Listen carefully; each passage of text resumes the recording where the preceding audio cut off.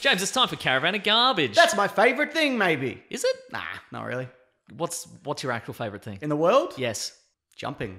Wow. Well, you're in for a treat. There's going to be some jumping in this. I wish I had thought of, of a better thing, like a No, funnier no, it's thing. locked in now. It's locked in, and it's now it's canon. Okay. Your favorite thing in the world is jumping. right. How far? As far as I can. Wow. As, as wide as I can, as long as I can. Also, not vertical leaps. Whatever, mate. Okay, because there's some vertical leaps in this, so you're probably not going to like it.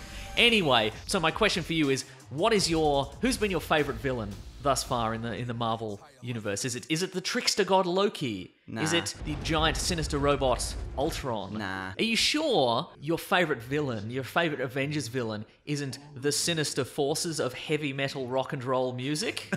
this is an issue of the West Coast Avengers from 1985. Oh my now, two God. things. The West Coast Avengers are sort of the redheaded stepchild of the Avengers, but this contains a lot of the Avengers that It's you will see. It's got see. some key dudes. It's got some key dudes that you see in the movies. It's got Iron Man in his sweet Silver Centurion outfit. It's got Hawkeye. It's got Vision. It's got Scarlet Witch. It's got assorted Ant-Mans and Giant-Mans. Whoa. And it's got some other losers. Whoa! So also, also, what you should know is this is a fill-in issue. Okay. So there was a big storyline beforehand. You're right. And there was gonna there's gonna be a big storyline afterwards. But so the creator, the writers, and the and the artists and stuff, they needed a break. Yeah, right. So this is a fill-in episode issue. Does it feel like that at all, or does it feel? Oh, just- very much so. Okay. So, because this is has a little framing story before and afterwards, and Right, it's right. basically we we open on a, a few members of the Avengers in the Quinjet because the Avengers have just broken up. like it's the end of Civil War. Exactly, and so Wonder Man is on this Quinjet. Of course it is, but it doesn't really look like. No, he's got an incredible mullet. Yeah, that really threw me. I want to be clear. This is again, this is the era of Satan's in everything. But this is 1985. There's some incredible mullets in this. Everybody has a mullet. Iron Man never takes his helmet off. But I want to be clear. At this point in his solo book, he had a mullet, a mustache, and he would jog on the beach in a half shirt. so if you want to look that up, this is peak 1980s. I feel. Yeah, this is that's like Rocky Three Yeah. era. Anyway, so this they've gone their separate ways, and Wonder Man's like, man, the team's broken up. We're really short on teamwork. But I remember a time when we had some great teamwork. Whoa. So it's very much like the creator of this has gone. Okay, let's let's do some team stuff, and they're like, team's broken up, and he's like, it's too late. I've written the script. Here we go. So this opens on some rock and roll dudes. This is some rock and roll groupies. They have the incredible rock and roll names of Michael and Susan. Ah, that's so rock and But roll. But they're classic rock and roll dudes. They've got the blonde mullets. They've got the denim vests. yes. And they are they are being accosted by we're immediately introduced to the villain of the piece. He's an enormous rock and roll man. Big arm. Big he's he's got he's covered in skulls and mullets.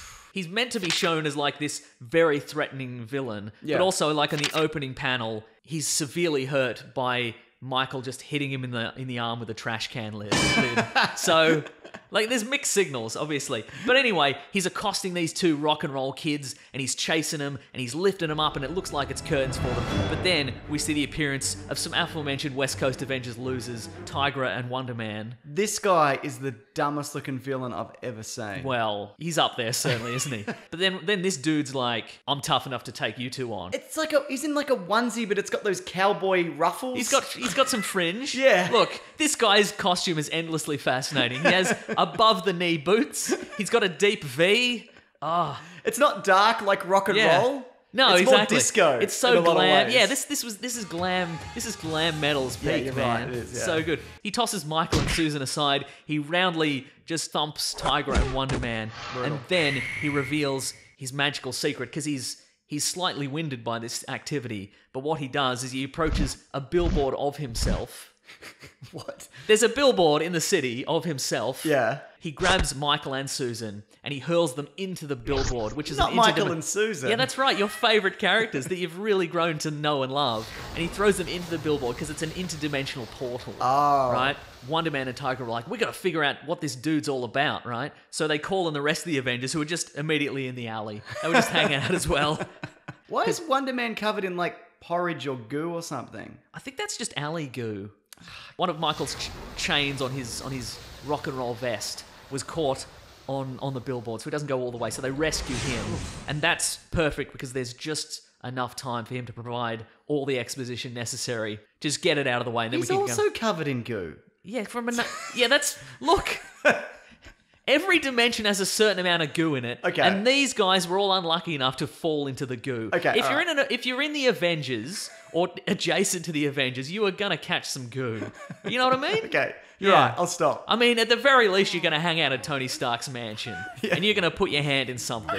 anyway, turns out that Michael and Susan, right? They they were enraptured by this band called Corruption of Sin. Oh right? no. You know what I mean? I know The- what you It's the devil's work, man, right? Yeah, yeah, yeah. And they get introduced to the lead singer, the giant man himself. He's so big. He's so big and weird, but in this in this panel he looks quite dreamy. Look how dreamy look, and nice a- he he's got a seems. lovely That's how they get you. Anyway, they get deep in the scene, man. They become roadies for the Defiler. It's a dream. But then all of a sudden, all, all their friends start disappearing. Where are they going? But it turns out the Defiler is throwing them into a, a mystical portal. But this portal doesn't seem to be in a billboard. It doesn't. It's very. uh, It's look. It's it's a little bit ambiguous as to where and when he can form these portals. It's either in his billboards or anywhere.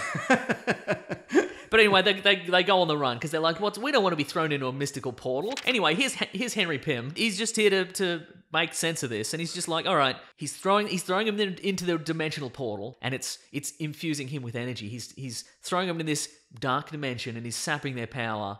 In order to create for himself the biggest pecs in the world. Yeah. Why doesn't he throw in someone stronger? Or is he working his way up to I think he's working his way up to Okay, it. But that that's but that's you're absolutely right. He's he's working his way up to a big score. That's why he's in the rock and roll band because he's got a concert tonight. Oh, okay. And he's gonna suck everybody into the portal. So this guy must have built up some kind of rock and roll career it's weird, right? years. And it's never occurred to anybody that he's just come out of nowhere, specifically the dark dimension. Sure. I know you call yourself the Defiler, are you like Jeff or what?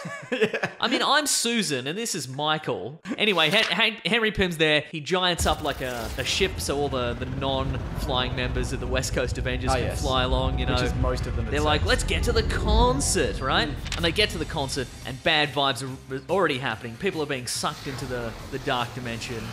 I know, right? Some of the Avengers are like, okay, we've got to knock down these billboards because it's built billboard. We're back to the billboard situation. Okay, so these are different billboards. These so are different billboards, clarify, yeah. Uh-huh. They start knocking down these billboards. The, the innocent victims are falling off the billboards. Henry Pym's there with a giant, like, baseball mitt to catch them all. Does he You have know? that with him? Apparently he does. Great. This is the era of Hank Pym where he doesn't, he's not Ant Man. He's just a dude who carries a lot of tiny things in his pockets I like that. and he just gets them out there. That's a little Michael Douglas kind of. Yeah, for sure. Yeah, yeah, yeah, for sure, right? there, yeah. Thing, things aren't going well for anyone, really, but mostly the Avengers, because Oh. he's like, they, we, we got to rescue some of these people out of this, this dark dimension, but we need the Defiler to do it, right? Mm. But then Hank Pym's like, I've been re- reading energies with my energy reading things, and he's like, listen, we got to get Michael in. Michael's covered in goop. He's covered in other dimensional goop. Oh my God, the You goop thought comes the goop was you thought the goop was irrelevant to the story, but it's not. He's been infused with goop, and so he has the key.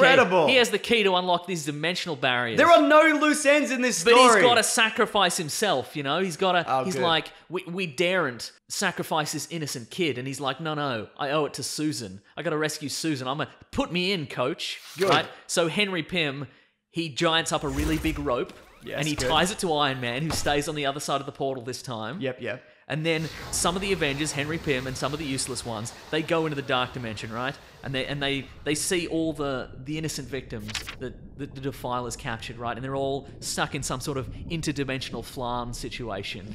It's really Mockingbird gets in there and starts hammering at the goop with her sticks. Ah, goop hammering. yeah, That's Ha- rock and roll. Hank Pym gets in there with his chain with his giant chainsaw. it's it's a it's a sight to behold. He gives it a bit of. Oh, the the the, por- the portal's about to collapse because Mm, we've course it we've is. rescued all the kids, right? yep. Without them being tr- trapped in the flan. The, the portals are collapsing, so we've got to get out of here. If only I had some real cool current, kind of a, a real cool transport method, a real big one that Yeah. I could really connect with the kids with. Oh, I've got this skateboard. Let's all hop on this giant skateboard. So not a 4x4 Jeep, which No. has its own engine and means of No, it's, he's propulsion. got a skateboard in his pocket. or, it's a- all right. Or an aeroplane. No, he's got a giant skateboard. He cracks it open. He's so current and relevant. It's astounding that he wasn't like, guys, let's get on this. Let's get on this giant Alf plush toy. They pull the skateboard out of the dark dimension. So 80s. So 80. Long story short, they escape the goo. D- the defiler's on the run, man. He's like, I gotta get out of here. I'm powerless. I gotta, I gotta get, I gotta escape. But it's all right because the hero of the day, Michael, he gets in. He gives him the old one-two. He gives him the old, you know, when you run under somebody's legs and they trip. Yeah, one of those. the days. That's yeah. very, that's very the 80s. It- absolutely, it because he didn't have any Yeah. powers. It's it's amazing he didn't call him a fart knocker while he was doing it. and then the defiler falls into his billboard, his own billboard. He does an incredible vertical trip, which you wouldn't appreciate because you're a horizontal leaper kind of guy. Big time. But he, he hits the he hits the dimensional portal just as it collapses, and he's trapped in his own dark dimension forever. He could have lived uh, an Earth rock and roll lifestyle. That's right. Man, what a tale. It's what a tale. And Susan and Howard, they Michael, whatever their names are, it doesn't matter. They're they're back together at last. They know that this is not this is not the lifestyle for them. They're going to get into something safer, yeah. like real devil worship. yeah, absolutely. You know what I mean? So who was this guy? I don't know. He, well, he's never seen again. I think it's time for resurgence. I absolutely agree. yeah, What's he working on in there? What's he working on, Mason?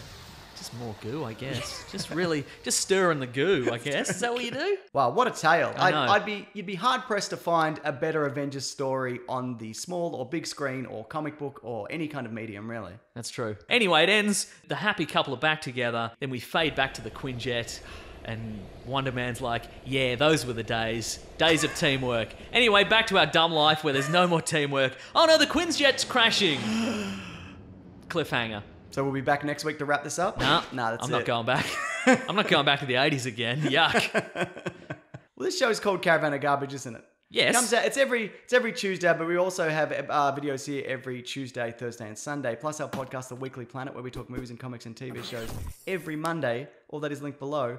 Also, planetbroadcasting.com is where you can find everything collated. You can't stop us from making content or telling you where content is. Yeah, I mean, if people stop wa- stop watching, then We'll definitely stop. there. definitely stop then. Yeah. mhm, yeah. We'll have to It's get a real very jobs. clear indicator that nobody wants us to do it. Yeah, but if you've got any suggestions for anything to look at, video game, TV show, movie, comic, whatever, let us know below. And everybody else, stay. What's an 80s expression? Stay goopy. Stay goofy. Just go into an alley and rub yourself in goop. Yeah, Totally radical. totally Alf. Very Alf. Grab that gem, you guys. We'll see you next week. Goodbye.